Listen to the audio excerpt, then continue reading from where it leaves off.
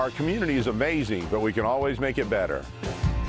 Gold's Gym is a proud supporter of St. Francis Wildlife, a local organization that rescues nearly 3,000 injured, orphan, and sick wild animals in our community every year.